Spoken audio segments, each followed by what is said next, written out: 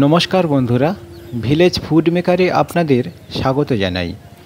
আজকে বানিয়ে দেখাবো টমেটো আলু চাট মশলা।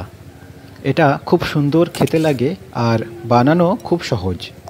টক মিষ্টি ঝালের সংমিশ্রণে এই রেসিপিটা কিন্তু অসাধারণ হয়ে ওঠে।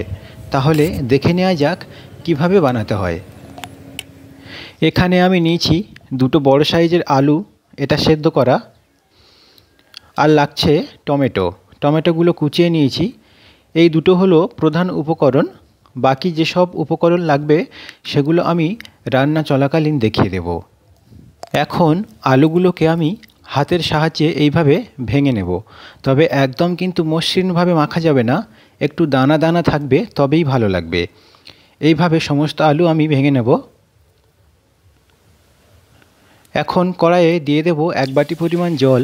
আর দিয়ে দেব সমপরিমাণ চিনি। এখানে একটা আমি চিনির শিরা তৈরি করে নেব। একদম তারাওলা শিরা লাগবে না। হাতে এইভাবে নিলে দেখবেন একটু চিপচিপ করবে মধুর মতো। তাহলেই বুঝতে হবে হয়ে গিয়েছে। আমার এটা হয়ে গিয়েছে, নামিয়ে নেব। কড়াইটা ভালো করে পরিষ্কার করে নেওয়ার পর দিয়ে দিচ্ছি দুই টেবিল চামচ পরিমাণ ঘি। ঘিটা গরম হলে দিয়ে দেব এক চামচ পরিমাণ গোটা জিরে। জিরেটা একটু ভাজা ভাজা হলে দিয়ে দেব দুই চা চামচ পরিমাণ ভাজা বাদাম।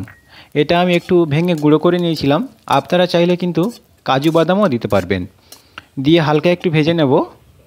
এখন দিয়ে দেব কোচানো টমেটোগুলো। টমেটোর সঙ্গে জিরে আর বাদাম ভালো করে মিশিয়ে নেব। নিয়ে এটা ঢাকনা দিয়ে ঢেকে রাখব সেদ্ধ হওয়ার জন্য।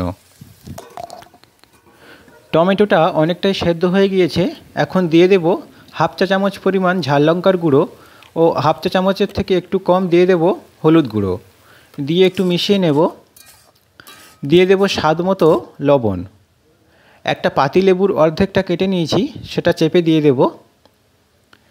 এক চা চামচ দিয়ে দেব ধনিয়া পাউডার। এক চা চামচ দিয়ে দেব চাট মশলা। চাট মশলা যদি না থাকে, তো আমচুর পাউডার ব্যবহার করতে পারবেন। সেটাও যদি না থাকে, তো পাতিলেবুর রস একটু বেশি করে দিয়ে দেবেন। সব কিছু ভালো করে মিশিয়ে নেব। দিয়ে দেব হাফ চা চামচ পরিমাণ জিরে ভাজার গুঁড়ো। দিয়ে একটু মিশিয়ে নেব।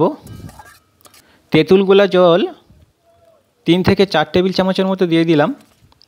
দিয়ে ভালো করে মিশিয়ে নেব। এখন দিয়ে দেব মেখে রাখা আলুটা। আলুটা দিয়ে আর বেশিক্ষণ রান্না করব না। এক মিনিটের মতো রান্না করব। যাতে আলুর সঙ্গে সমস্ত মশলা খুব ভালোভাবে মিশে যায়। তারপর নামিয়ে নেব। একটু ভালো করে মিশিয়ে নিতে হবে। আলুর সঙ্গে এটা ভালো করে মিশিয়ে নিয়েছি আর এক মিনিট হয়ে গিয়েছে, এটা এখন নামিয়ে নেব। যে চিনি শিরাটা করে রেখেছিলাম, তার মধ্যে দিয়ে দিচ্ছি এক চামচ পরিমাণ ভাজা জিরের গুঁড়ো। দিয়ে মিশিয়ে নেব। এই বাটিতে কিছু চাট তুলে নিয়েছি। এখন এর মধ্যে দিয়ে দিচ্ছি চার চামচ পরিমাণ চিনির রস। দিয়ে একটু ভালো করে মিশিয়ে নেব। তবে সব কিছু কিন্তু ব্যালেন্স রেখে দিতে হবে। টক, মিষ্টি, ঝাল, এই তিনটে কিন্তু ঠিকঠাক হতে হবে। বারবার টেস্ট করে দেখতে হবে ঠিকঠাক হচ্ছে কি না দিয়ে ভালো করে মিশিয়ে নেব।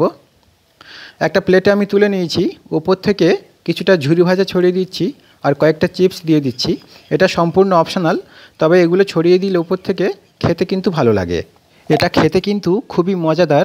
আপনারা বাড়িতে অবশ্যই ট্রাই করুন, আশা করছি ভালো লাগবে।